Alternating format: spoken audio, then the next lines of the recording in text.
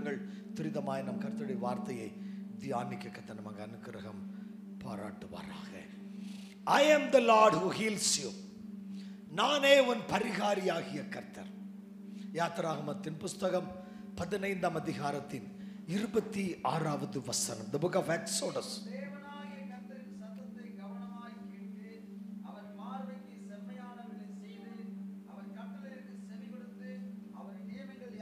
கை கொண்டால் நான் எகிப்திற்கு வரப்பண்ணின வியாதிகள் ஒன்றை உனக்கு வரப்பண்ணேன். நானே உன் பரிகாரியாகிய கர்த்தர் என்றார். நல்ல வார்த்தைகளுக்காய் கரங்களை தட்டி கத்திருக்கும் நன்றி சொல்லுவோம்.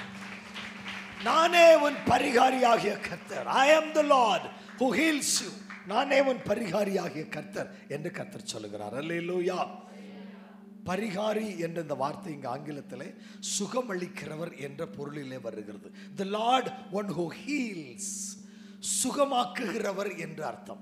இந்த சுகமாக்குதலை இரண்டு படிகளாக வேதம் சொல்லுகிறது. ஒன்று உள்ளான மனுஷனிலே சுகமாகுதல். இரண்டாவது சரீரத்திலே சுகமாகுதல். Healing of the இனமேன் and healing of the physical body உள்ளான மனிதனிலும் சரீரத்திலும் அவர் சுகம் தருகிற தேவன். அல்லேலூயா. சரி. இந்த வார்த்தையை நம்ம கொஞ்சம் கொஞ்சமாக தியானிக்கலாம். யாத்திராகம இருபத்தி மூன்று இருபத்தி ஐந்தின் கடைசி பகுதி சொல்லுகிறது வியாதியை உன்னை விட்டு விளக்குவேன் அது தொடக்கம். நீ உன் தேவனாகிய கர்த்தரை மட்டுமே சேவிக்க கடவா you will serve the lord and lord alone கர்த்தரை மட்டுமே சேவிக்க கடவாய் ஆராதனையிலே அருமையான தம்பி சொன்னாங்க. கர்த்தரை விட்டு வேறொரு ஆராதனைக்குள்ளே அடியெடுத்து வைத்தால் அது கர்த்தருக்கு எரிச்சல் மூட்டுகிற ஒரு பாவம். என்னை என்று உனக்கு வேற தேவர்கள் வேண்டாயிருக்க உன் உண்டாயிருக்க வேண்டாம் என்று சொன்ன யாத்திராம இருபதில் சொல்லப்பட்ட பத்து கட்டளைகள் முதல் கட்டளை அதுதான். அப்படி நீ செஞ்சா நான் எரிச்சலுள்ள தேவனாயிருக்கிறேன். அன்புள்ள தேவன் என்று அழைக்கப்படுகிற சொல்றாரு எரிச்சலுள்ள தேவனாயிருக்கிறேன் மனுஷனுடைய எரிச்சலுக்கு முன்னால் நம்மளால் நிற்க முடியலை. எரிச்சலின் ஆவிகள் நமக்கு விரோதமாக எழும்பும்போது நாம் போராட்டங்களுக்குள் கடந்து போகிறோம். அப்படியானால் மனுஷ எரிச்சலையும் அந்தகார எரிச்சலையும் நம்ம தாங்க முடியாமல் இருக்கும்போது கர்த்தரே எரிச்சல் படுவாயிரையானால் நம்முடைய வாழ்க்கை எங்கே போய் முடியும்? சவுல் மேல் இருந்த கிருபையை கர்த்தர் விலக்கி விட்டார் சில ராஜாக்கள் யூத ராஜாக்களை குறித்து எழுதும்போது தன் வியாதியிலும் அவன் என்னை அல்ல பரிகாரிகளை தேடினான் மந்திரவாதிகளை தேடினான் குறி சொல்லுகிறவர்களை தேடினான் பரிதாபமாய் செத்து போனான். அவன் சரீரத்தை ராஜாக்களின் கல்லறையிலே வைக்கவில்லை. எரிச்சல் உள்ள தேவன் எந்த முகாந்தரம் கொண்டும் சீவனுள்ள தேவனாய் ஆண்டவரை ஏற்றுக்கொண்ட பின்பு பழைய ஆராதனை வழிபாட்டு முறைகளுக்குள்ளே உங்களை ஈடுபடுத்திக் கொள்ள விரும்புவீர்களே ஆனால் அது மகா பெரிய சாபமாய் சந்ததி சந்ததியாய் வந்துவிடும். அதில் திட்டமாய் இருக்க வேண்டும் தெளிவாய் இருக்க வேண்டும். ஆராதிக்கப்படத்தக்கவர் ஆண்டவராகிய இயேசு கர்த்தரே மகா தேவனும் எல்லா தேவர்களுக்கும் மகா ராஜனுமாய் இருக்கிறார் என்று சங்கீதம் தொண்ணூற்றி ஐந்து மூன்று சொல்லுகிறது. பூமியின் ஆழங்கள் அவர் கையில் இருக்கிறது பர்வதங்களின் உயரங்களும் அவருடையவைகள். ஹலலூயா இப்படி எல்லாவற்றையும் சர்வஸ்தையும் சிருஷ்டித்த ஆண்டவர் தேவாதி தேவனும் ராஜாதி ராஜனுமாய் இருக்கிறபடினாலே அவர் ஒருவரே ஆராதனைக்கு உரியவர் ஆராதிக்கப்படத்தக்கவர். கைகளை தட்டி அவருக்கு நன்றி சொல்லுவோம். ஆகவே தான் யாத்திரா இருபத்தி மூணு இருபத்தஞ்சில் கர்த்தர் சொல்றாரு உன் தேவனாகிய கர்த்தரையே சேவிக்க கடவாய் அந்த கர்த்தரை மட்டுமே என்று அதற்கு பொருள். சேவிக்க கடவாய் அப்படி செய்யும் போது அவர் உன் அப்பத்தையும் தண்ணீரையும் சாரி ப்ளீஸ் அவர் உன் அப்பத்தையும் உன் தண்ணீரையும் ஆசீர்வதிப்பார். வியாதியை உன்னிலிருந்து விலக்குவேன். பார்த்தீங்களா அப்படி அவரை மட்டுமே ஆராதிக்கும் போது கர்த்தர் நீங்க சாப்பிடுற போஜனத்தையும் நீங்க குடிக்கிற தண்ணீரையும் அவர் ஆசீர்வதிக்கிறார். அப்படி ஆசீர்வாதம் பெறுகிற அப்பமும் தண்ணீரும் எனக்குள் போகும்போது அது என் சரீரத்திற்கு ஆரோக்கியத்தை கொண்டு வருகிறது. அல்லேலூயா. அப்படியாக இன்று முதல் இந்த நற்செய்தி கூட்டம் முடிகிற இந்த இறுதி கூட்டம் முதல் நீங்கள் புசிக்கிற ஆகாரங்கள். மூன்று முறை ஆலயத்திலே புசித்திருக்கிறீர்கள். நான்காவது முறை நீங்கள் புசிக்க போகிறீர்கள். இன்று புசிக்கிற ஆகாரமும் இனி புசிக்கிற ஆகாரங்களும் குடிக்கிற பானங்களும் இயேசுவின் நாமத்தில் ஆசீர்வதிக்கப்பட்டிருப்பதாக. அது உங்கள் சரீரங்களில் காணப்படுகிற வியாதிகள் பலவீனங்கள் நோவுகளில் இருந்து உங்களுக்கு இயேசுவின் நாமத்தில் விடுதலை கொடுப்பதாக இந்த வார்த்தை அப்படித்தான் சொல்லுது. ஆசீர்வதிப்பே வியாதியை உன்னை விட்டு விலக்குவேன் I will take the sickness away from your midst உன்னை விட்டு வியாதியை விளக்குவேன். அப்போ இன்னிருந்து நீங்கள் ஜெப் சாப்பிடும்போது ஜெபம் பண்ணி சாப்பிடுங்க. இப்படி சொல்லியிருக்கிறீங்களா ஆண்டவரே இந்த சாப்பாட்டை அது சோறோ சப்பாத்தியோ இட்லியோ தோசையோ கஞ்சோ கூழோ இதை ஆசீர்வதிங்க. இந்த தண்ணீரை ஆசீர்வதிங்க.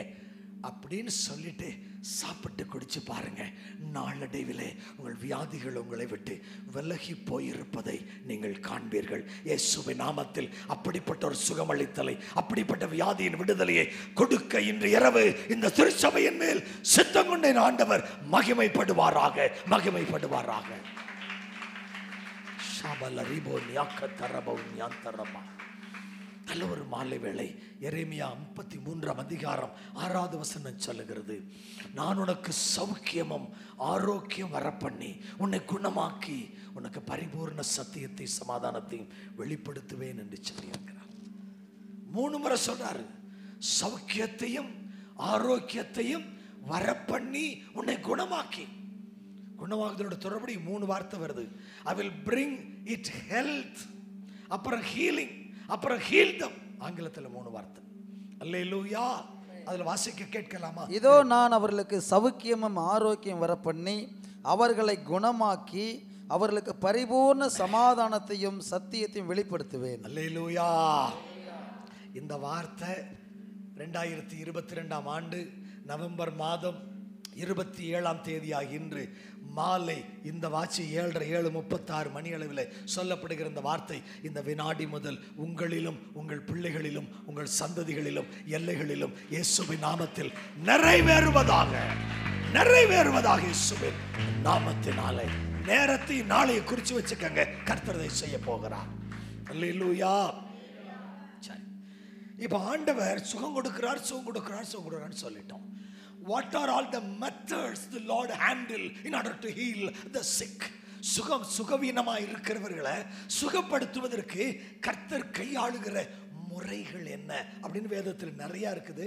நேரத்தை பொறுத்து கொஞ்சம் வேகமாக போவோம். முதலாவது சங்கீத நூற்றி மூணு மூணு இப்படி சொல்லுகிறது. அவர் உன் அக்கிரமங்களை எல்லாம் மன்னித்து உன் நோய்களை எல்லாம் குணமாக்கி. ஹalleluya ஆமென். உன் நோய்கள் எல்லாம் குணமாக்கப்பட வேண்டுமால் முதல்ல பார்த்தோம் அப்பமும் தண்ணீர் ஆசிர்வதிக்கப்படணும். அப்படி ஆசீர்வதிக்கப்படணும்னா என்ன கண்டிஷன் நீ அவரை மட்டுமே சேவிக்கணும்.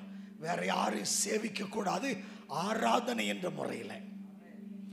மேலதிகாரியை நீங்க சேவிக்கலாம். அது வேலை.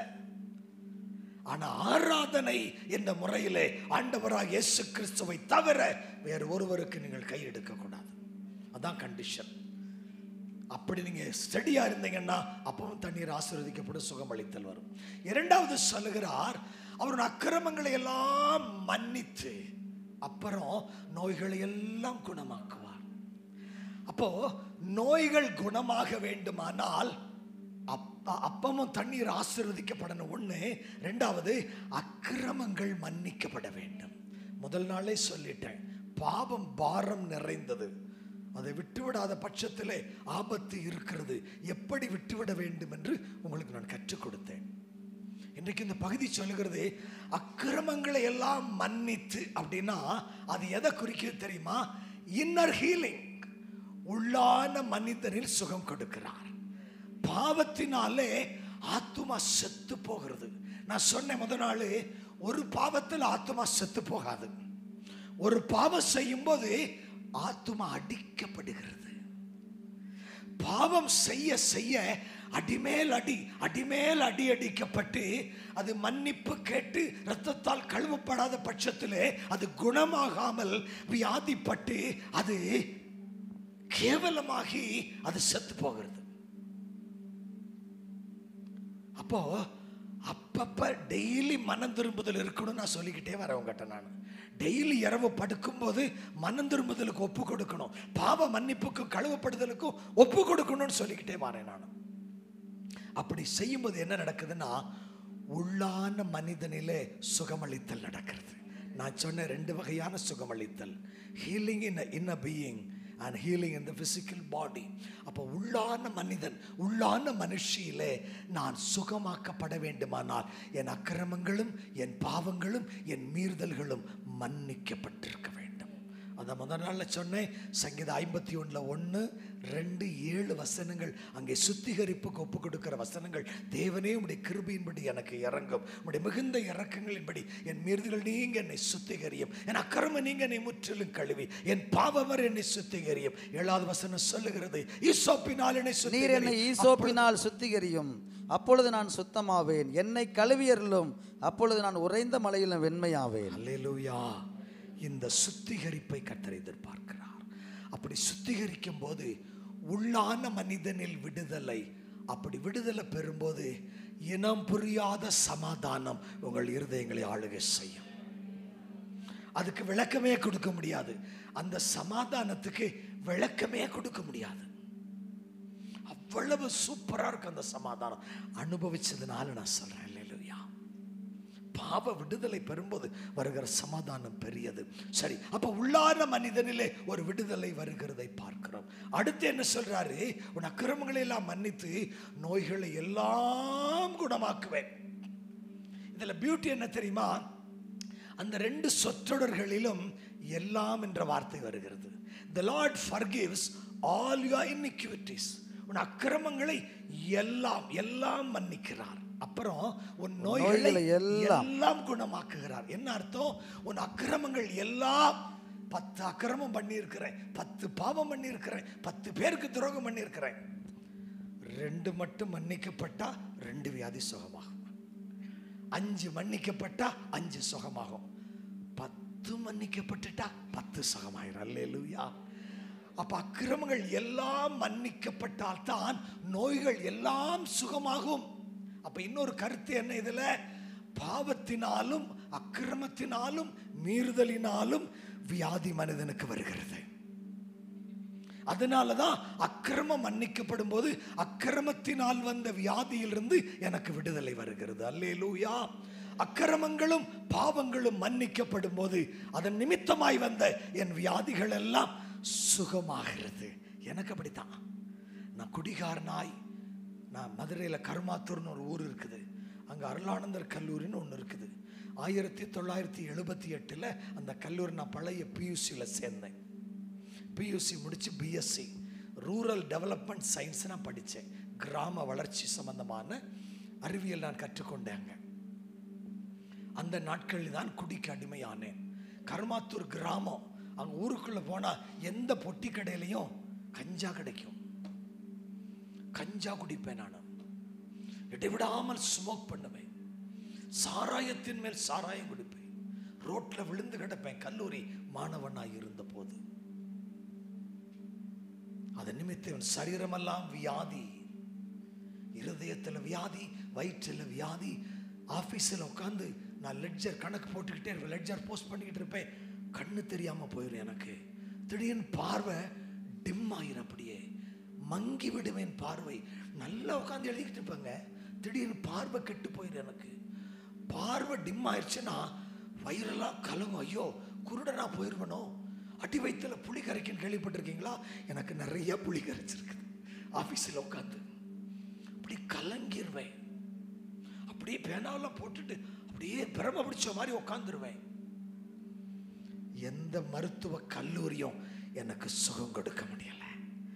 என்னைக்கு என் பாவங்களை அறிக்கை செய்து என் தாயின் ஜெபத்தின் அடிப்படையிலேயே உபவாசம் பண்ணி என் பாவங்களை அறிக்கை செஞ்சு கண்ணீரோட எப்படி என் தாய் ஜெபிச்சாங்களோ அதே மாதிரி நடு முழங்கால நின்று இயேசுவின் சிலுவைக்கு கீழே வந்து என் பாவங்களெல்லாம் சுமந்துட்டீரே பாவத்தை விட ஒப்பு கொடுக்கிறேன் என்னை விடுதலையாக்கும் என்று கண்ணீர் விட்டு கதறி கதறி அழுது அழுத என் ஆண்டவர் பாதத்தில் என்னைக்கு விழுந்தனோ அன்னைக்கு குடி என்னை விட்டு விலகுச்சு என் வியாதி என்னை விட்டு விலகிச்சு.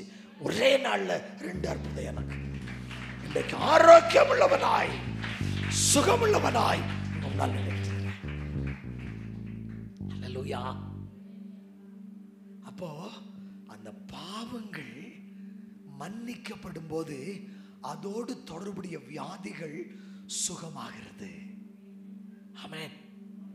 அப்போ உள்ளான மனிதனின் விடுதலை வெளியான சரத்திற்கு ஆரோக்கியத்தை கொண்டு அதனால உன் குடியை விட்டு விலகு உன் போதையை விட்டு விலகு உன் கோபத்தை எரிச்சலை விட்டு விலகு. பாவம்னா குடியும் போதையும் மட்டுமல்ல விபச்சாரமும் பாவம்தான் கோபமும் பாவம்தான் எரிச்சலும் பாவம்தான் மன்னியாமையும் பாவம்தான். பிறனை அவமதிக்கிறதும் பாவம்தான். நான் எழுதின புக்கை வாங்கி வாசிச்சு பாரு அதில் அநேக அறியாமையின் பாவங்களை குறித்து நான் எழுதியிருக்கிறேன். அன்னோன் சின்ஸ் அறியாமையின் பாவங்களை அநேக விசுவாசிகள் செய்து கொண்டிருக்கிறோம். Unless you get rid of the sin that you do whether knowingly or unknowingly the sickness the disease will never go from you. நீ அறிந்தும் அறியாமலும் செய்த பாவங்களை நீ அறிக்கை செய்து விடுதலை பெறாத பட்சத்தில் உன் வியாதி உன்னை விட்டு விலகப் போவதில்லை. என் இரவு எச்சரிப்பாக எடுத்துக்கொள்வோம். நீங்கள் இயேசுவை ஏற்றுக்கொண்டிருக்கலாம் ஏற்றுக்கொள்ளாமல் இருக்கலாம். அது ரெண்டாவது பட்சம். ஆனால் இன்றைக்கு இரவு இயேசுவை அன்றி உனக்கு சுகமளிக்க யாரும் இல்லை. எனக்கு சுகம் கொடுத்தவர் அவர்தான். உயிரோட நிக்கிறேன்னா அவர்தான் காரணம். உயிரோட எங்க அம்மா கற்பத்திலிருந்து வெளியே வந்தேன்னா இத மாதிரி ஒரு ஆலயம் தான் காரணம்னு காலையில நான் சாட்சி சொன்னேன். அந்த சிலுவை தான் காரணம் என்று காலையில சாட்சி சொன்னேன் நான். இப்ப சொல்லுகிறேன். என் வியாதி சுகமாகி இந்த அறுபத்தி ஓராவது வயதிலும் ஆரோக்கியமாக இருக்கேன் என்று சொன்னால் அது கர்த்தர் கொடுத்த சுகம். ஏசு கொடுத்த சுகம். அதனால தான் நான் கம்பெனியில் எண்பத்தி மூணாவது ஆண்டு சேர்ந்த ஆயிரத்தி தொள்ளாயிரத்தி எண்பத்தி மூணுல டாட்டாவில் வேலைக்கு சேர்ந்தேன். எனக்கு இருந்த சர்வீஸில் பகுதி கூட முடியல. என் ஆண்டோர் ஊழியத்துக்கு அழைத்ததுனால தைரியமாக அந்த வேலையை விட்டுட்டு முழு பலத்தோட ஊழியத்துக்கு வந்தேன்னா என்ன தெரியுமா காரணம்? எனக்கு சுகம் கொடுத்தவர் என் மூலமாய் அநேகருக்கு சுகம் கொடுக்க என்னை அழைத்தார். அந்த ஒரே காரணத்தினால தான் பத்தொன்பது ஆண்டுகள் பணியை முடிவு செய்துவிட்டு இன்னும் எனக்கு இருபது ஆண்டு வேலை இருந்துச்சு கம்மலில் சர்வீஸ் இருந்துச்சு ரிசைன் பண்ணிட்டு முழு நேரமாய் வந்து இருபது ஆண்டுகள் எனக்கு இப்போ முடிவடைந்தது. அல்ல லூயா ஆயிரங்கள் விடுதலையாயிருக்கிறாங்க. லட்சங்கள் விடுதலையாயிருக்கிறாங்க. பலவிதமான தொலைக்காட்சி நிகழ்ச்சிகள் நற்செய்தி கூட்டங்கள் பேரின்ப பெருவிழாக்கள் சபை கூட்டங்கள் என்று அநேக இடங்களில் விடுதலை பெற்றவர்கள் ஏராளம். என்னை விடுதலையாக்கினவர். இன்று உங்கள் ஒவ்வொருவரையும் விடுதலையாக்க இன்று இரவு சித்தம் கொள்கிறவராய் இருக்கிறார். அல்லேலூயா. ஸ்தோத்திரம். நிறைய வசனங்கள் இருக்கிறது. ஆக ஆண்டவர் மன்னித்து சுகமளிக்கிறார். அப்ப மன்னிப்பும் சுகமளித்தல் இணைந்து போகிறது. மன்னிப்பு எப்படி பெற்றுக்கொள்ளும்? நான் முதல் நாள் சொல்லிட்டேன். மத்திய ஒன்பதாம் அதிகாரம் இரண்டாவது வசனத்திலே அங்கே படுக்கையிலே கிடந்த ஒரு திமிர்வாதக்காரனை அவரிடத்தில் கொண்டு வந்தார்கள். இயேசு அவருடைய விசுவாசத்தை கண்டு திமிர்வாதக்காரனை நோக்கி மகனே திடன்கொள் உன் பாவங்கள் உனக்கு மன்னிக்கப்பட்டது என்றார். திமிர்வாதக்காரன் கையும் கால் அவனுக்கு விளங்காது. அவனை தூக்கிக்கிட்டு நாலு பேர் இயேசுட்ட வர்றாங்க. நடக்க முடியாது. எல்லாத்துக்கும் அவனுக்கு உதவி தேவை. அப்படி வந்தபோது நடந்த காரியம் என்ன? இயேசு அவனை பார்க்கிறார். அவன் படுக்கையில் அப்படி படுத்திருக்கிறான். சுமந்து கொண்டு வந்த நான்கு பேரையும் மாறி மாறி பார்க்கிறார். மேல பார்க்கிறாரு ஓடு பிரிஞ்சிருக்குது. கீழே பார்க்கிறார் ஒருத்தன் படுத்து கிடக்குறான். திரும்பி பார்க்கிறார் நாலு பேர் நின்றுகிட்டு இருக்கான் சுமந்துட்டு வந்தவன். ஆண்டவர் சுமந்து கொண்டு வந்தவர்களை பார்த்து அடைய விசுவாசத்தை கண்டு படுத்து வியாதியா இருக்கிறவனுக்கு என்ன சொல்லி இருக்கணும் உன் வியாதி நீங்கி பிழைப்பாயாகன்னு சொல்லியிருக்கணும். நீ குணம் பெற்றுக் கொள்வாயாகன்னு சொல்லியிருக்கணும். நான் உன்னை சௌக்கியமாக்குகிறேன்னு சொல்லியிருக்கணும். அதெல்லாம் சொல்லவே இல்லை. மகனே திடன்கொள் உன் பாவங்கள் உனக்கு உன் மன்னிக்க பாவங்கள் உனக்கு மன்னிக்கப்பட்டது. அவ்வளவு பெரிய பாவிய பார்த்து ஆண்டவர் எப்படி கூப்பிடுறாரு? ஏ பாவி உன் பாவத்தை மன்னிச்சிட்டேன்டா. அப்படி சொல்லல. அவனையும் பார்த்து மகனே என்று கூப்பிடுகிறார். பிரியமான சகோதரனை சகோதரியே நீ எவ்வளவு பெரிய பா என்னை விட பாவி யாரும் இங்க இருக்க மாட்டேங்க நான் அடிச்சு சொல்லு என்னை மாதிரி பாவி ஒருத்தர் இருக்க மாட்டேங்க அவ்வளவு மோசமானவன் நான். சூதாடுவேன் காசு வச்சு சீட்டு விளையாடுவேன் வேலை பார்க்கும்போது. வீட்டுக்கே போக மாட்டேன். சனிக்கிழமைங்களுக்கு அரை நாள் தான் வேலை ஆஃப் ஆஃப் டே தான் ஒர்க்கு மத்தியானம் நாங்கள் ஸ்டாஃப் எல்லாம் சேர்ந்து கிளப்பில் கூடினோம்னா சனிக்கிழமை ஃபுல்லு விளையாட்டு நைட்டு சீட்டு விளையாட்டு ஞாயிற்றுக்கிழமை சர்ச்சுக்கு போகிறது கிடையாது சீட்டு விளையாட்டு ஞாயிற்றுக்கிழமை இரவு விளையாட்டு திங்கக்கிழமை காலையில் எட்டு மணிக்கு எனக்கு ஆஃபீஸு ஏழு மணிக்கு வீட்டுக்கு போவேன் குளிச்சுட்டு வேகமாக ஆஃபீஸ் ஓடுவேன். ரெண்டு நாள் தூக்கம் இருக்காது. சீட்டு விளையாடுறது காசு வச்சு. சூதாட்டம். என் மனைவி வீட்டிலே ஒத்தையாய் காத்து கொண்டிருப்பாள். மனைவி குறித்து நினைவே இருக்காது. சாராயம் குடிக்க சீட்டு விளையாட. சாராயம் குடிக்க சீட்டு விளையாட. அலங்கோலமான வாழ்க்கை என் வாழ்க்கை. என்னைய மாதிரி ஒரு அயோக்கிய இங்கே யாருமே இருக்க மாட்டேங்க. என்னை தூக்க முடியுமானால் என்னையும் மகனே என்று அழைத்து மனந்திரும்ப பண்ண முடியுமானால் உங்களை பண்ணுவது எளிதான காரியம் என் ஆண்டவர். ஒப்பு கொடுத்தல் மட்டும்தான் தேவை just commit your life surrender your life unto the lord for him to heal you heal your inner being and to heal your physical sickness ஒப்பு கொடுத்தா மட்டும் போதும் வேற ஒன்றும் செய்ய வேண்டாம் ஒப்பு கொடுத்தா மட்டும் போதும் அற்புதமாய் உங்களை விடுதலையாக்குவார் பிரியமானவர்களே அந்த திமிர்வாதக்காரன் அவ்வளோ பெரிய பாவியாக இருந்தாலும் படுக்கையில் கிடக்கிற அவ்வளோ பெரிய வியாதி அவனுக்கு இருக்கு. அதுக்கு அவன் அவ்வளோ பெரிய பாவம் பண்ணியிருக்கிறான் கர்த்தர் ஆனால் அவனை பார்த்து மகனே என்று கூப்பிடுகிறார். இன்றைக்கு இந்த இடத்துல பெரிய பாவி நீங்கள் நினச்சிக்கிட்டு இருக்கிறீங்களா? உங்களை பார்த்து ஆண்டு சொல்லாரு நீ என்னுடைய மகன் நீ என்னுடைய மகள். உனக்காக நான் ரத்தம் சிந்திருக்கிறேன். இந்த ரத்தத்தில் நீ கழுவப்பட்டுட்டேன்னா உனக்கு விடுதலை வந்துருச்சு. நீ என்னிடத்துல உன் வாழ்க்கையை மட்டும் ஒப்புக்கொடு. Our life and to my hands for me to cleanse you and then heal you உன் வாழ்க்கையை கையில் கொடுத்துரு. நான் உன்னை கழுவி சுத்தமாக்கி உன்னை சுகமாக்கி விடுவேன். அவனை பார்த்து கேட்டாரு மகனே உன் பாவங்கள் உனக்கு மன்னிக்கப்பட்டது. அவ்வளவுதாங்க சொன்னார். சரி பாவத்தை மன்னிச்சிட்டார்ல. அதுக்கு பிறகு சரி உன் சுகத்தை உன் சுகத்தை பெற்றுக்கொள். அதுவும் சொல்லலை. ரெண்டு வசனத்துக்கு கீழே சொல்கிறாரு உன் படுக்கை எடுத்துக்கொண்டு போ. அவன்கிட்ட பேசுறது ரெண்டே காரியம்தான். ஒன்று பாவ மன்னிப்பு அவரை படுக்க எடுத்துட்டு போ. அவர் பாவங்களை மன்னித்த போது வியாதி அவனை விட்டு விலகிற்று. அல்லேலூயா. என் பாவங்களை கர்த்தர் மன்னித்த போது உபவாசம் பண்ணி காத்து அழுத போது என் பாவங்களை மன்னித்தவர் என் வியாதியும் சேர்த்து என்னை விட்டு எடுத்து விட்டார். யுவான் ஐந்தாம் அதிகாரத்திலே பெதஸ்தா குளத்தண்டையிலே முப்பத்தெட்டு வருடமாய் படித்திருந்த ஒரு மனிதனை பார்க்கிறோம். ஒருவர் அவனுக்கு உதவி செய்யவில்லை. இவனுக்காவது நாலு பேர் உதவி செய்யிருந்தாங்க. அங்க சொல்றான் ஒருவர் என்னை கொண்டு போய் குளத்துல விடுறதுக்கு ஆள் இல்லை. படுத்திரு அது அந்த நிகழ்ச்சி நமக்கு தெரியும். அதனால தான் நான் விளக்கப்படுத்தல. அதுல அப்படி அவனை இயேசு பார்த்துட்டு உனக்கு நான் என்ன செய்யணும்னு கேட்கிறாரு அவனுக்கு என்ன செய்யணும்னு ஆண்டவர்கிட்ட கேட்கறது கூட அறிவில்லை புத்தி இல்லை. எனக்கு இந்த மாதிரி படுத்திருக்கிறேன். எனக்கு நீங்க சுகம் கொடுக்க முடியுமான்னு கேட்க தெரியல அவனுக்கு. ஆனா அவனை தேடி இயேசு போயிருக்கிறான். அவன் இயேசுவை அறியாமல் இருந்தும் இயேசு அவனை தேடி போயிருக்கிறார். இந்த இடத்துல வந்திருக்கிற ஒரு சிலர் இயேசுவை அறியாமல் இருக்கலாம். இயேசுவை ஏற்றுக்கொள்ளாமல் இருக்கலாம். ஆனால் இந்த தேவ சபையிலே தேவன் எழுந்தருளி இருக்கிறார். கர்த்தர் பிரசன்னமாக இருக்கிறார். அவர் உன்னை தேடி காத்திருக்கிறார். He is here in உன்னை தேடி அவர் காத்திருக்கிறார். நீ வாழ்க்கையை மட்டும் ஒப்பு கொடுத்தா போதும். அவனை தேடி போனாரு. என்ன வேணும்னு கேட்குறாரு அவனுக்கு என்ன சொல்கிறதுனே தெரியல. குளம் கலங்கும் போது என்னை கொண்டு போய் விடுறதுக்கு யாரும் இல்லைன்னு சொல்லிட்டு இருக்கான் அவன். வந்திருக்கிறவர் யாருன்னு தெரியாமல் அப்படித்தான் இயேசு நம்ம பக்கத்தில் இருக்கிறது அநேகத்தில் நமக்கு தெரியாமலே போயிடுது கர்த்தர் இன்றைக்கு தெய்வ பிரசன்னத்தை உணர்ந்து கொள்ளும்படி நம்முடைய ஆவிக்குரிய கண்களை இயேசுவின் நாமத்தில் திறப்பாராக. இந்த ஆலயத்திலும் வீட்டிலும் வெளியிலும் சமுதாய வாழ்க்கையிலும் கர்த்தருடைய மெல்லிய சத்தத்தை கேட்க என் செவிகள் இயேசுவின் நாமத்தில் திறப்பதாக அவருடைய பிரசன்னத்தை உணர என் ஆவிக்குரிய கண்கள் இயேசுவின் நாமத்தில் திறப்பதாக. அவர் ஒண்ணுமே சொல்லல. உன் படுக்கை எடுத்துட்டு போனாரு. எடுத்துட்டு போயிட்டான் என்ன நடந்துச்சுன்னு ஒன்றும் தெரியாது.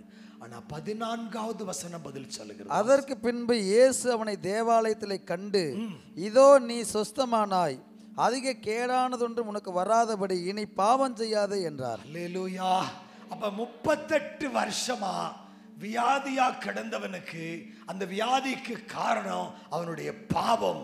கர்த்தரவனை பார்த்த மாத்திரத்திலே அந்த பாவத்தை மன்னித்தார். அவன் சுகமானான். பின்னால பார்த்து சொல்றாரு இனி பாவம் செய்யாத. இனி பாவம் செய்யாத. செஞ்சா என்ன தெரியுமா வரும்? என்ன வரும்னு சொல்லுது அந்த வசனம். அதிக கேடு வரும் உனக்கு. இனி பாவம் செஞ்சா அதிக கேடு வரும். பாவம் என்னை கேட்டுக்குள் கொண்டு செல்ல அப்போ கர்த்தர் என்னை மன்னித்து எனக்கு சுகம் கொடுக்கிறார். மெத்தட் ஆஃப் ஹீலிங் சுகமளிக்கிற முறைகள் கத்தர் எப்படி கடைபிடிக்கிறார்னா செயல்படுத்துகிறார்னா ஒன்று மன்னித்து சுகம் கொடுக்கிறார். இரண்டாவது வசனத்தை அனுப்பி சுகமாக்குகிறார். The lord sends his word and heals the sick சங்கீத நூற்றி ஏழு இருபது சொல்லுகிறது. அவர் தம்முடைய வசனத்தை அனுப்பி அவர்களை குணமாக்கி அவர்களை அழிவுக்கு தப்புவிக்கிறார் எழுதப்பட்டிருக்கிறது. வசனத்தை அனுப்பி குணமாக்குகிறார். அப்பத்தையும் தண்ணீரையும் ஆசீர்வதித்து குணமாக்குகிறார். அக்கிரமங்களையும் பாவங்களையும் குற்றங்களையும் மன்னித்து சுகமாக்குகிறார். இப்பொழுது வசனத்தை அனுப்புகிறார் the lord sends his word அவருடைய வார்த்தை அனுப்புகிறார் அந்த வார்த்தை எங்கே இருக்குது? இந்த பைபிளில் இருக்குது. அதனால் இதுவரைக்கும் நீங்கள் பைபிளே வாசிக்கலைன்னா இன்னைக்கு பைபிள் வாசிக்க தீர்மானம் பண்ணுங்க. பைபிளே வாசிக்காத ஒருவருடைய வாழ்க்கையில் நடந்த உண்மை சம்பவத்தை நான் சொல்லட்டுமா? சமீபத்தில் ஒரு ஆறு மாதத்துக்கு இடையில் என்ட ஜபம் பண்ண வந்ததுனால சொல்கிறேன் இந்த காரியத்தை. பதினேழு ஆண்டுகளுக்கு முன்னால் ஒரு தம்பி ஒரு சகோதரனுக்கு ஒரு மகளுக்கு வாலிப சாரி திருமணம் நடந்தது. ஒரு பையன் இருக்கிறான் பத்தாவது வகுப்பு படிக்கிறான் அந்த பையன். பதினேழு வருஷத்துக்கு கல்யாணம் ஆச்சு. அவர் பயங்கரமான குடிகாரன் பயங்கரமான குடிகாரன் அப்போது என்கிட்ட ஒரு நாள் எனக்கு யாருன்னே தெரியாது வேற யாரோ எங்கள் நம்பரை கொடுத்து என்கிட்ட ஃபோன் பண்ணாங்க அந்த சிஸ்டர் என்ன சொல்கிறாங்க என் வீட்டுக்காரர் பயங்கரமாக குடிக்கிறார் பாஸ்டர் விடுதலையே இல்லை. நான் கேஷுவலாக ஜோ பண்ணிட்டு விட்டுட்டேன். ஒரு வாரம் கழிச்சு திரும்பி கூப்பிட்டாங்க. பாஸ்டர் பாஸ்டர் உங்களை நான் சந்திக்கணும். எங்கே சந்திக்கலாம்? எப்போ ஃப்ரீயாக இருப்பீங்க? நான் அந்த வாரம் லோக்கலில் இல்லை. சாயந்தரம் ஞாயிற்றுக்கிழமை ஈவினிங் தான் அவைலபிள் அவங்க நான் காலையிலே பார்க்க வரேன்றாங்க. இல்லை முடியாது காலைல வெளியே இருப்பேன். சாயந்தரம் நாலு மணிக்கு வந்துட்டாங்க. தேடி பிடிச்ச இடத்துக்கு வந்துட்டாங்க. எங்கள் ஜப மையத்துக்கு வந்த பிறகு கணவன் மனைவி ரெண்டு பேரும் உட்காந்துருக்குறாங்க சொல்கிறாங்க இப்படியெல்லாம் பிரச்சனை. அவங்க சொன்ன காரியம் என்ன தெரியுமா? சா நைட்டு குடிச்சு சாயந்தரம் வேலை முடிஞ்சு வரும்போது குடிச்சிட்டு வருவார். வரும்போதே சாராய பாட்டிலோட வருவார். எப்பெல்லாம் முழிக்கிறாரோ அப்பெல்லாம் திரும்பி ஊற்றி குடிப்பார். பக்கத்தில் சாராய பாட்டில் இருக்கும். எப்பெல்லாம் நைட்டில் முழிச்சாலும் ரெண்டு தடவை மூணு தடவை முழிப்பார். அப்பெல்லாம் குடிப்பார். யார் சொல்லியும் கேட்கல அதிக கேடு எப்படி வருதுன்னு பாருங்க. அதிக கேடு. அந்த வசனம் இல்லாததுனால அதிக கேடு. கீழ்ப்படியாததுனால அதிக கேடு. கிறிஸ்தவ குடும்பம். இவர் நல்லா குடிச்சிட்டு அந்த என்கிட்ட அவசரமாக ஃபோன் பண்ணாங்களே அன்னைக்கு நல்லா குடிச்சுட்டு ராத்திரியில் படுத்திருக்காரு. சாராய பாட்டில் பக்கத்தில் இருக்கு. திடீர்னு கண்ணை முழிச்சு பஸ்ஸா அந்த கட்டில் சா ஏதோ மூமெண்ட் தெரியுது கட்டில். கண்ணை முழிச்சு பார்த்தா நம்புறீங்களான்னு தெரியாது. ஒரு வாலிப பிள்ளை ஸ்கூல் யூனிஃபார்ம் போட்டு அவர் கால் மாட்டில் கட்டில் மேலே இப்படி உட்காந்துருக்கு ரெண்டு கண்ணத்துலையும் கை வச்சு உட்காந்துருந்துச்சு அவர் சொல்றாரு இப்படி உட்காந்துருச்சு ஆடி போயிட்டான் மனுஷன். ஆடி போயிட்டான். நீ போ அப்பதான் அவருக்கு இயேசுவே தேவை அவருக்கு. இயேசுவின் பேரால போ இயேசுவின் பேரால போ. அது நீ ஜோலியை பாருன்றுச்சு அது. அது அசையவே இல்லை. உண்மை நட- சம்பவம். அது உட்காந்துட்டே இருக்குது. போகவே இல்லை. ஒரு மணி நேரம் போராடுறாரு. கொஞ்ச நேரம் கழிச்ச உடனே இவரை விட்டு எழும்பி மகனுடைய தலைமாட்டில் போய் உட்காந்து அவன் முகத்தவே பார்க்குது அந்த பிள்ளை. இது ஒரு ஆவி. கடைசியில காலை நாலு மணி வரைக்கும் போராடி இருக்காரு. நடக்கல நொன்னே. பதினேழு வருஷமா எடுக்காத பைபிளை தேடுறாரு. உண்மை பதினேழு வருஷமா எடுக்காத பைபிள். அதை தூக்கி கக்கத்துல வச்சுக்கிட்டு கதவை திறந்து ஒரே ஓட்டம். எங்க தெரியுமா? சர்ச்சுக்கு காலையில் நாலு மணிக்கு. சுடுகாட்டு வழி ஓடணும். ஓடுறாரு. அங்க நல்ல நாலு உள்ளங்களுக்கு நாலு மணிக்கு சர்ச்சை திறந்து ஜோ பண்ணிக்கிட்டு இருக்குது. இவருக்கு உள்ள போக வேற பயம். சர்ச்சுக்கே போக மாட்டாரு. பதினேழு வருஷம் சர்ச்சுக்கு போனதில்லை. வெளியே நின்றுட்டு இயேசுவை என்னை காப்பாத்து. இயேசுவை என்னை காப்பாத்து. கர்த்தர் மனம் இறங்கினார். அவருக்கு அந்த தெளிவு வந்துச்சு. அந்த ஆவி விலகிருச்சு மாதிரி தெரிஞ்சது. வீட்டுக்கு வந்தாரு. படுத்துக்கிட்டாரு. இயேசு கட்டில் பக்கத்தில் நிற்கிற மாதிரி அவருக்கு ஒரு உணர்வு. கொஞ்ச நேரம் கழிச்சு இயேசுவை காண மறுபடியும் இந்த ஆய்வு வந்து உட்காந்துருக்குது அப்புறம் தான் என்னைய கூப்பிட்டாங்க. வர சொல்லி இதெல்லாம் கேட்டுட்டு வேத வசனங்களை சொல்லி திட்டமாய் தெளிவாய் கடிந்து உபதேசித்து எச்சரிப்போடு ஒரு மணி நேரம் உபதேசித்து நீ கர்த்தருக்கு ஒப்பு கொடுத்தா உனக்கு நான் ஜோம் பண்ணுறேன் இல்லாட்டி ஜோம் பண்ண மாட்டேன்னு சொல்லி ஒப்பு கொடுக்க சொல்லி முழங்கால் போட சொல்லி அவருக்கு எண்ணெய் பூசி ஜெபித்து நான் அனுப்பினேன். போகும்போதே பைபிள் விற்கிற கடையில் போய் புது பைபிள் பெரிய பைபிள் வாங்கிட்டு போய் அன்னையிலிருந்து நான் சொன்ன மாதிரி பைபிள் வாசித்து டெய்லி ஒரு வசனம் மனப்பாடம் பண்ணி மனைவிட்ட ஒப்பிக்க சொல்லியிருந்தேன். ஏடிஎம் கார்டெல்லாம் ஒய்ஃப்கிட்ட கொடுத்துடணும்னு சொல்லிட்டேன். அங்கேயே ஏடிஎம் கார்டு தூக்கி கொடுத்துட்டாரு. பைபிள் வாங்கிட்டு போய் டெய்லி வாசிச்சாரு. மனைவிட்ட டெய்லி ஒரு வசனம் ஒப்பிச்சிட்டு வேலைக்கு போயிட்டு வந்தார். குடியெல்லாம் நிறுத்திட்டார். அல்ல இப்படித்தான் கர்த்தர் வசனத்தை அனுப்பி குணமாக்குவார். இந்த வசனம் அவருக்குள்ள போன உடனே பாவம் விலகுது பரிசுத்தம் வருது வியாதி சுகமாகுது விடுதலைக்குள்ள போகிறார். அல்லேலூயா. அப்போ வசனத்தை அனுப்பி அதனால சொல்றேன் வேதத்தை எடுக்க வேண்டும். நீ கத் காலையில் சொன்ன இல்லையா? கர்த்தருடைய வேதத்தை நேசிக்கிறவர்களுக்கு மிகுந்த சமாதானம். There is great peace for those who love the lord the the law of the Lord. கர்த்தருடைய வேதத்தை நேசிக்கிறவங்களுக்கு மிகுந்த சமாதானம் உண்டு. சங்கீத நூத்தி பத்தொன்பது நூத்தி அறுபத்தஞ்சு. வசனத்தை அனுப்பி குணமாக்குவார். வசனம் உள்ளுக்குள்ளே போகணும். வசனத்தை குறித்து நிறைய பேசலாம் அதுக்கு நேரம் இல்லை. ஆனால் தேவனுடைய வார்த்தையை அனுதினமும் நீங்கள் எடுக்க வேண்டும் வாசிக்க வேண்டும் தியானிக்க வேண்டும் முடிந்த அளவு மனப்பாடம் பண்ண வேண்டும் செவி கொடுத்து கேட்க வேண்டும். கர்த்தருடைய வார்த்தை எங்கு உண்மையாய் பிரசங்கப்பட்டாலும் வஞ்சகம் இல்லாமல் கள்ள தெற்கு தரிசனம் இல்லாமல் கள்ள உபதேசம் இல்லாமல் எங்கெல்லாம் வார்த்தை பிரசங்கிக்கப்படுகிறதோ அங்கெல்லாம் கர்த்தர் உங்கள் செவியை பக்குவப்படுத்துவாராக. கேட்கிறதற்கு ஏதுவாய் உங்கள் செவியை கூர்மைப்படுத்துவாராக. கேட்கிற காதுகளாய் உங்கள் காதுகள் இயேசுவின் நாமத்தில் மாறுவதாக. கள்ள உபதேசங்களுக்கும் கள்ள தீர்க்க தரிசனங்களுக்கும் தப்பு விக்கப்படுவீர்களாக அப்படி இருந்தோன்னா சுகமளித்தல் வருமா? அந்த வசனத்தை அனுப்பி அவர்களை சுகமாக்கி. யோவான் எட்டாம் அதிகாரம் முப்பத்தி இரண்டாவது வசனத்திலே ஆ சத்தியத்தை அறிவீர்கள். You must know the truth சத்தியத்தை நீ அறிய வேண்டும். அறிந்தால் அந்த சத்தியமே உன்னை விடுதலையாக்கும். அல்லேலூயா. சத்தியத்தை அறிந்து கொள்வாய் சத்தியம் விடுதலையாக்கும். சத்தியம்னா என்னது? அப்படின்னா யோவான் பதினேழு பதினேழு சொல்லுகிறது உம்முடைய வசனத்தினாலே உம்முடைய சத்தியத்தினாலே அவர்களை பரிசுத்தமாக்கும். உம்முடைய வசனமே சத்தியம்.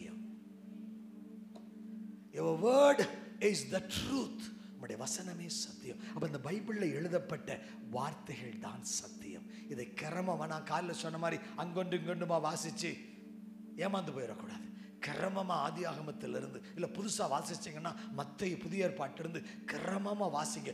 புரியுதா? புரியலான்னு உங்களுக்கு கவலைப்பட வேண்டாம். முதல்ல புரியாத மாதிரி இருக்கும் ஒரு தடவை வாசிங்க. ரெண்டு தடவை வாசிங்க. மூணு தடவை வாசிங்க. ஒரு நாலு அஞ்சு தடவை வாசிக்கும் போது உங்களுக்கு புரிய ஆரம்பிக்கும். செய்திகளை கேட்கும்போது புரிய ஆரம்பிக்கும். சந்தேகம் இருந்தால் எந்த சபைக்கு போறீங்களோ அந்த போதகர்கிட்ட போய் விளக்கம் கேளுங்க. எல்லாத்தையும் கேட்கக்கூடாது. உங்கள் போதகர்கிட்ட கேட்கணும். இல்லையா அப்படி நீங்கள் வாசித்து அதை அறிஞ்சுக்கிட்டீங்கன்னா அதை அறிய அறிய உங்களுக்கு விடுதலை வந்துக்கிட்டே இருக்கும். சத்தியத்தை அறிந்தாலே விடுதலையா? ஆமேன். இந்த வார்த்தையை அறிந்து கொள்ளுங்கள். உங்களுக்கு அதற்குள்ளே விடுதலை அடங்கி இருக்கிறது வசனத்தை அனுப்பி குணமாக்குவார். மற்ற பதினஞ்சு இருபத்தி எட்டில் ம், ம். ஆ. அல்லேலூயா. கானானிய பெண் ஒருத்தி இயேசுவை தேடி வந்தால் மகள் பிசாசினாலே பிடிக்கப்பட்டிருக்கிறாள் என்று சொல்லி. பின்தொடர்ந்து இயேசுவை விடவே இல்லை. அவரும் பதில் சொல்லாம போயிட்டே இருக்கார். இவ பின்தொடர்ந்து போய் பிடித்துக் கொண்டாள். கடைசியில இயேசு கிறிஸ்துவோடு அவள் பேசுகிறாள். அவர் அவளோடு பேசுகிறார். யாரெல்லாம் இயேசுவை விடாம பின்தொடர்றீங்களோ உங்களோடு அவர் பேசுவார். நீங்கள் பேசுவதை அவர் கேட்பார். அதற்கு பதில் கொடுப்பார். அது ஆரோக்கியமாய் வந்து முடியும் உங்களுக்கு.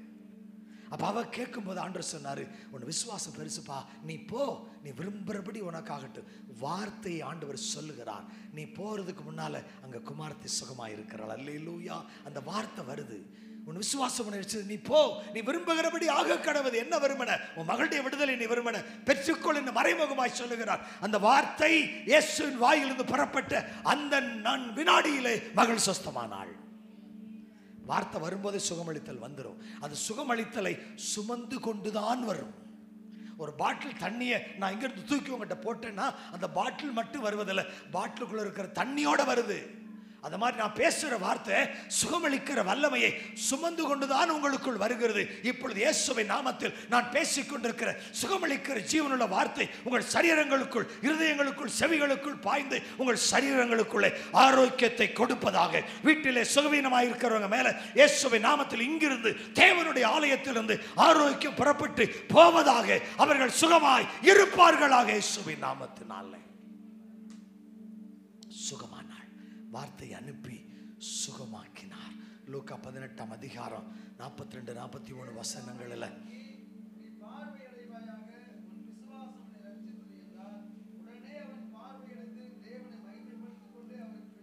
இயேசு குருடனை பார்த்து பார்வையற்றவனை பார்த்து கேட்டார் உனக்கு என்ன செய்ய வேண்டும்? அவன் சொன்னான் பார்வை அடைய வேண்டும். இயேசு சொன்னார் பார்வை அடைவாய் தொடலாம் இல்லை வார்த்தை தான் சொன்னார். வார்த்தையினால சுகம்னா சொல்லிக்கிட்டு இருக்கிறேன். பார்வை அடைவாயாக. Receive your sight the moment Jesus declared it he got his sight back கர்த்தர் சொன்ன அந்த வினாடியில் த மொமெண்ட் ஜீசஸ் declared அந்த வினாடியில் அவன் சுகம் பெற்று கண்கள் திறந்தான் என்று பார்க்கிறோம். பார்வை அடைந்தான். வார்த்தை அனுப்பி சுகமாக்குவார். அப்பத்தையும் தண்ணீரையும் ஆசீர்வதித்து சுகமாக்குவார். பாவங்களை மன்னித்து சுகமாக்குவார் வார்த்தை அனுப்பி சுகமாக்குவார். அடுத்தபடியாக the lord touches and heals தொட்டு சுகமாக்குவார். ஆமேன். தொட்டு சுகம். தேவைப்படுறவங்களும் தொட்டு சுகம். நிறைய வசனங்கள் இருக்கிறது. மார்க் ஒன்றாம் அதிகாரம் முப்பது முப்பத்தொண்டு வசனங்களிலே இயேசு பேதுருவின் வீட்டுக்கு போனார். மாமி சுகவீனமாய் படுத்திருந்தாள் காய்ச்சலிலே. இயேசு அவள் கரங்களை பிடித்து எழுப்பி விட்டார் அவளை தொட்டார் என்ற வசனங்கள் ஒரு இடத்துல ஒரு மாதிரி எழுதப்பட்டிருக்கு. எப்படியோ அவளுடைய கரம் அவள் மேல் பட்டது. அவள் சுகமாகி எழும்பி உடனே அங்கு இருந்தவர்களுக்கு பணிவிடை செய்ய ஆரம்பித்து விட்டாள். அப்ப இயேசுவின் தொடுதல் சுகமளித்தலை கொண்டு வருகிறது. அவருடைய ஆசீர்வாதம் சுகமளித்தலை கொண்டு வருது. அவருடைய மன்னிப்பு கொண்டு வருகிறது. அவருடைய வார்த்தை கொண்டு வருகிறது. அவருடைய தொடுதல் கொண்டு வருகிறது. அல்லே லூயா நான் மதுரையில் சுகமளிக்கும் கூட்டத்தை இந்த கொரோனாக்கு முன்னால் நடத்திக்கிட்டு இருந்தேன். முத முதல்ல அந்த தரிசனம் பெற்று இந்த கூட்டத்தை தொடங்கும் போது ஒரு சர்ச்சுடைய அந்த அவங்களுடைய ஒரு ஹால் இருக்கும் அதில் தான் வா நான் வந்து அந்த வாடகை கட்டி அதை நான் எடுத்து பயன்படுத்திக்கிட்டு இருந்தேன். ஒரு வாரம் ஒரு மாதம் ஒரு கூட்டம் தான். ரெண்டு மாதம் மூணு மாதம் கழியும் போது நல்லா முன்னால் நானுடைய மனைவியும் வர்ஷிப் பண்ணிக்கிட்டே இருக்கிறோம் அந்த இடத்துல. நல்ல மகிமையான ஆராதனை பண்ணி கொண்டிருக்கிறோம். கர்த்தருடைய கரம் அப்படி வந்து அந்த வாசல்ல இருந்து கடந்து வருது அப்படி பறந்து வருது. பெரிய கை அப்படி. இந்த இதுக்கு மேலே மட்டும். இவ்வளோ பெருசு அந்த கை. அப்படி வரலெல்லாம் அழகாக ஒயிட்டாக பியூட்டிஃபுல்லாக இருக்குது. அப்படியே அந்த கரை உள்ளே கடந்து வந்ததை தரிசனத்தில் நான் பார்த்தேன். அன்னைக்கு அநேகர் சுகமானார்கள். எவ்வளவோ நாள் வியா சுகமில்லாத வியா தோல் வியாதியெல்லாம் அன்னைக்கு சுகமாச்சு. அற்புதமாய் சுகமாயிற்று. இல்லையா இங்கே பழனிசாமி யார் வந்திருக்கீங்களா ஒரு பத்து பிரதருக்கு நான் சொல்லியிருந்தேன் வந்திருக்கிறாரா இல்லையோ? உங்கள் மகன் சாமுவேல் திருப்பூரில் இருக்கிறாங்க. வரல. சரி ஓகே வர நீங்கள் வரேன் இருந்தாங்க. ஏன்னா அவருக்கு கத்தர் அற்புதமாய் சுகம் கொடுத்தார். நாங்கள் வேலை பார்க்கும்போது அங்கே என் வேலை பார்த்தார். சோரியாசிஸ் என்ற வியாதி கர்த்தர் அற்புதமாய் அவரை சுகமாக்கினார். கம்ப்ளீட்டாக சுகமானார் அவர். அந்த கரம் உள்ள வந்தபோது வந்த அந்த கூட்டத்தில் அநேகர் சுகமானார்கள். அல்லேலூயா. கர்த்தர் நாம் அப்போ தொட்டு சுகமாக்கும்படி கர்த்தருடைய கரம் வந்ததை அன்றைக்கு நான் கண்டேன். மார்க் ஒன்றாம் அதிகாரம் நாற்பத்தி ஒன்றாவது வசனத்திலே அவர் தொழு நோயாளியை தொட்டார். இது மற்ற எட்டாம் அதிகாரத்தில் முதல் நான்கு வசனத்தில் வரும். தொழுநோயாளியை லெப்பர் குஷ்டரோகியை இயேசு தொட்டார் அவன் சுத்தமானான். அல்லூயா கர்த்தருடைய தொடுதல் அங்கே சுகத்தை கொண்டு வருகிறது என்று பார்க்கிறோம். அடுத்த குறிப்புக்குள்ளே நான் கடந்து போகிறேன். எண்ணெய் எண்ணெய் பூசி ஜபிக்கும் போது கர்த்தர் சுகமளித்தலை கொடுப்பார். யாக்கோப் ஐந்தாம் அதிகாரம் பதினான்கு வசனத்தில் உங்களில் ஒருவன் வியாதிப்பட்டால் சபையின் மூப்பர்களை வரவழைப்பானாக. அவர்கள் அவனுக்கு இயேசுவின் நாமத்தில் எண்ணெய் பூசி ஜபிப்பார்களாக. அப்பொழுது பாவம் மன்னிக்கப்படும். வியாதி சுகமாக. அல்லேலூயா. எண்ணெய் பூசி அழைக்கப்பட்டவர்கள் ஜபிக்க நல்லா தெரிஞ்சுக்கங்க. சபை விசுவாசிகள் போய் நினைச்ச ஆளுமெல்லாம் கை வைக்கக்கூடாது. நான் அந்த சபை விசுவாசி இந்த சபை எங்கள் சபை பெரிய சபை. அதுலேருந்து வந்திருக்கானாங்கன்னு ஆஸ்பத்திரியில் போய் வியாதியஸ்தருக்கு செப் ஜபிக்கிறேன்னு சொல்லி கைகளை மேலே வைக்கக்கூடாது. உங்கள் போதகர் அனுமதிக்கு இருந்தால் தான் நீங்கள் கை வைக்கணும். கைகளை வைக்குதல் விசேஷித்த ஊழியம். அழைக்கப்படாதவர்கள் கைகளை வைத்து பாதிக்கப்பட்ட அநேகருக்காய் நான் ஜெபித்திருக்கிறேன். அவங்க விடுதலை ஆகல அதுக்கு பிறகு மற்றவங்க மேலே கை வச்சு பாதிக்கப்பட்டவங்க. குறிப்பிட்ட ஆவி அந்த ஜெபிக்கப்பட்டவர்களை விட்டு விலகி இவர்களை பிடித்து கொண்டது. கைகளை வைக்குதல் கர்த்தர் ஊழியர்களுக்கு கொடுத்திருக்கிறார். சபையின் விசுவாசி மற்றவங்க மேல கை வைக்கணும்னா போதகருடைய அனுமதி இருக்க வேண்டும். போதகருக்கு தெரியும் நீங்கள் கை வைக்க தகுதி பெற்றிருக்கீங்களா இல்லைன்னா அவங்களுக்கு தெரியும். என் ஊழியத்தில் முழு நேர ஊழியர்கள் இருக்கிறாங்க. நான் சொன்னா தான் கை வைப்பாங்க.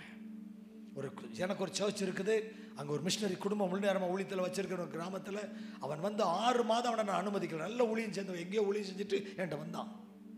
குடும்பமா ரெண்டு பிள்ளைகளோட.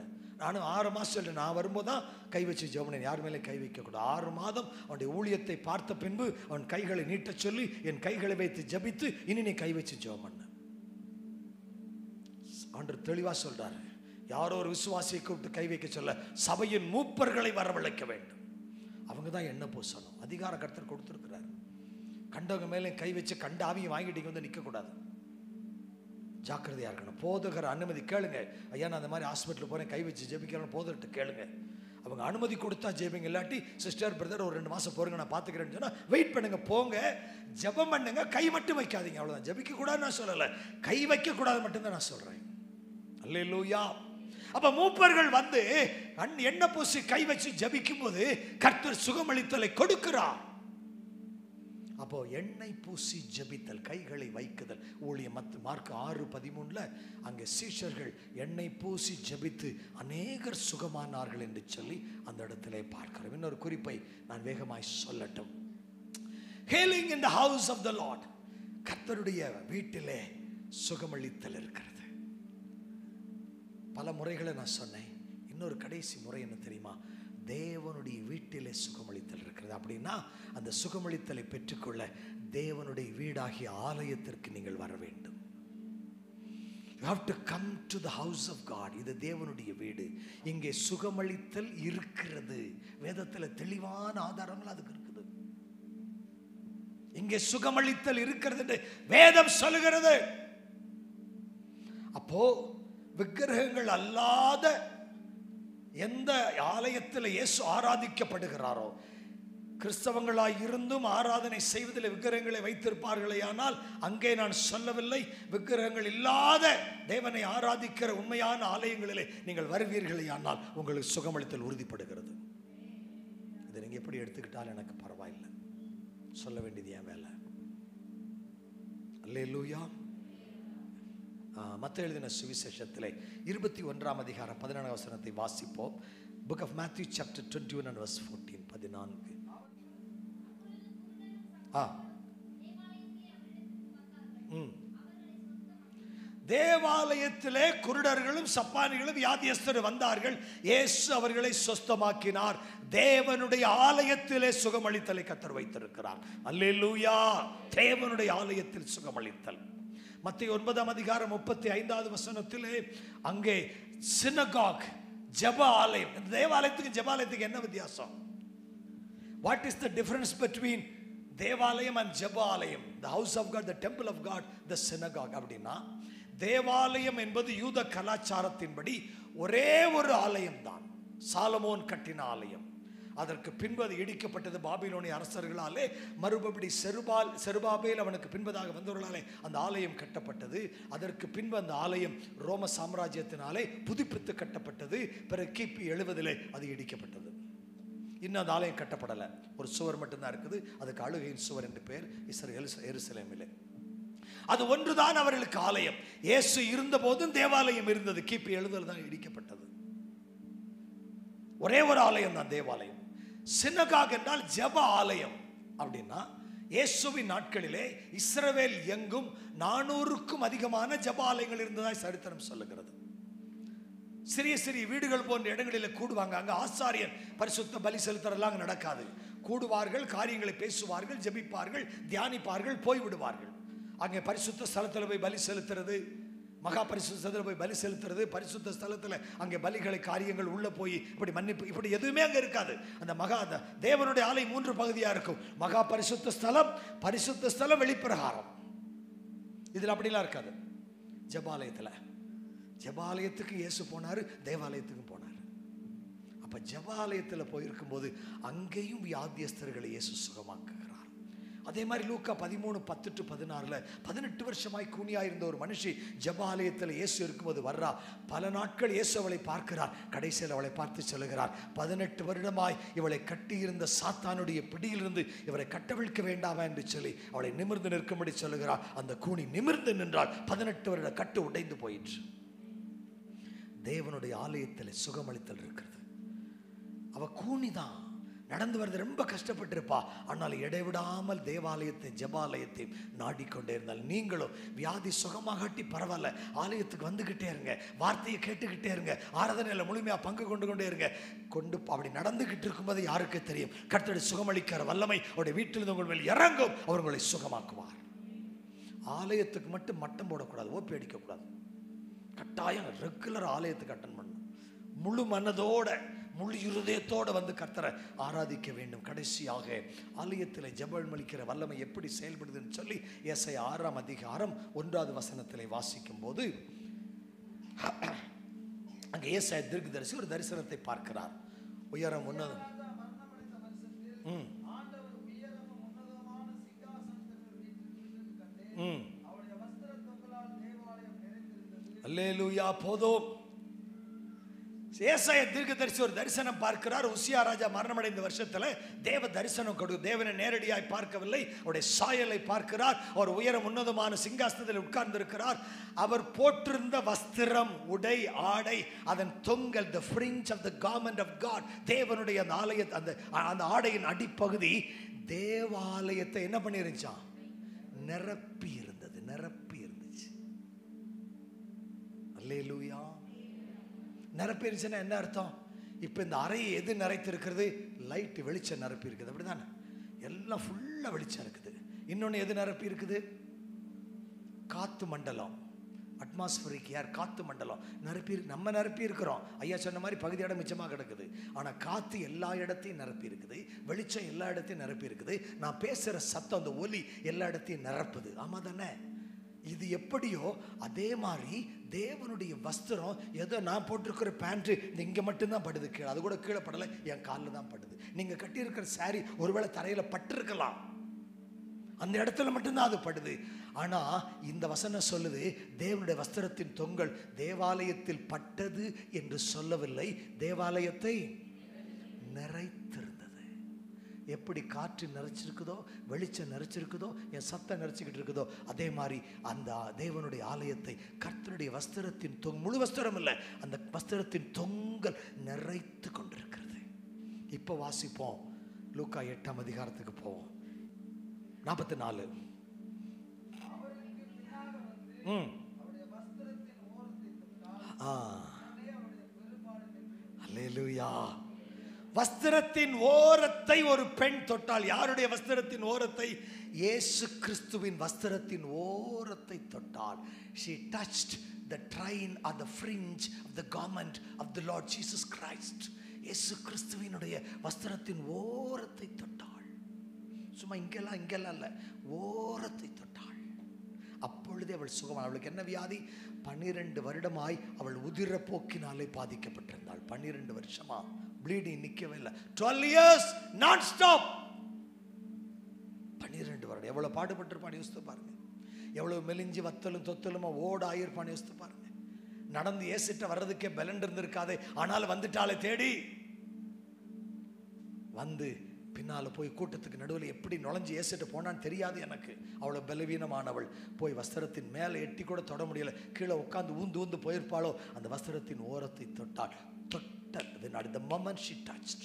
தொட்டன் அந்த நொடியில் அவள் வியாதி அவளை விட்டு விலகிச்சு அல்லையா வஸ்திரத்தின் ஓரத்தை தொட்டு அவளுக்கு சுகம் கிடைக்குமானால் தேவனுடைய வஸ்திரத்தின் ஓரம் ஆலயத்தை நிரப்பி இருக்கிறதே அதன் ஓரத்திலும் சுகமளித்தல் இருக்கத்தானே செய்கிறது.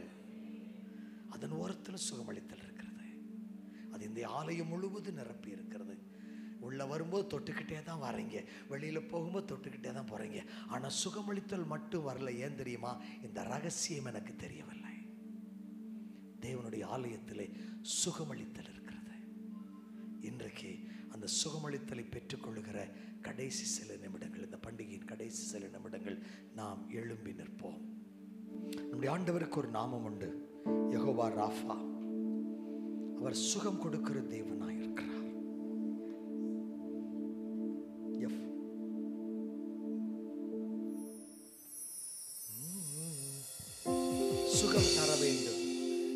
ராஃபா ஃபாதர் பண்ண பாட்டு இன்று சுகம்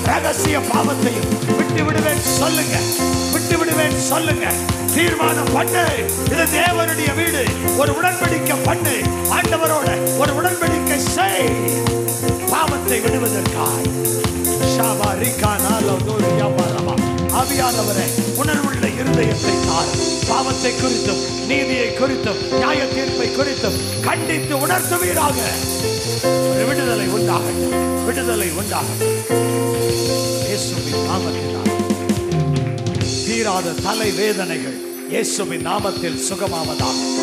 செவியின் பிரச்சனைகள் இயேசுவின் நாமத்தில் சுகமாவதாக. கண்களின் வியாதிகள் இயேசுவின் நாமத்தில் சுகமாவதாக. பிரச்சனைகள் இயேசுவின் நாமத்தில் சுகமாவதாக. தொண்டையின் வியாதிகள் இயேசுவின் நாமத்தில் சுகமாவதாக.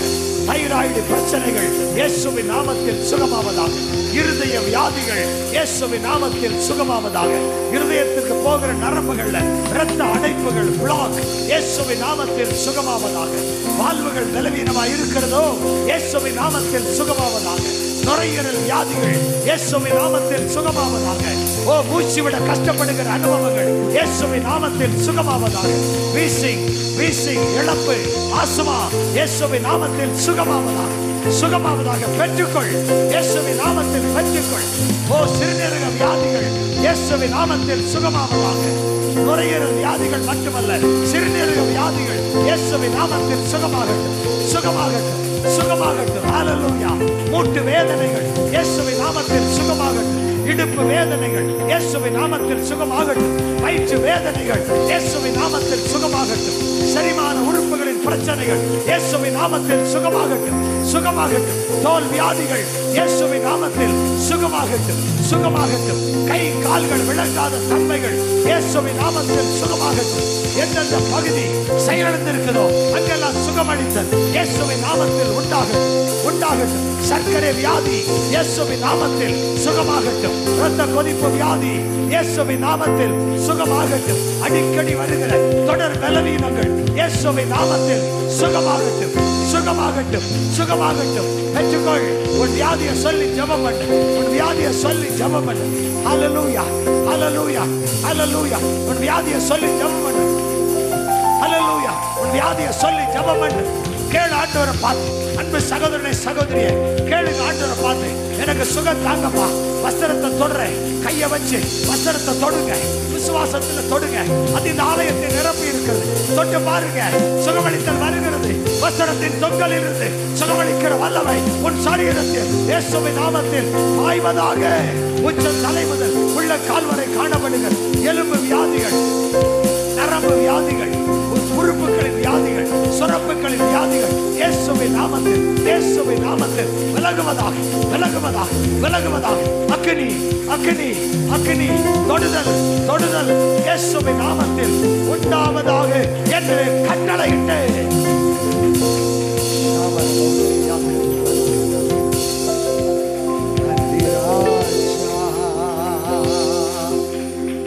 உன்னதத்தில்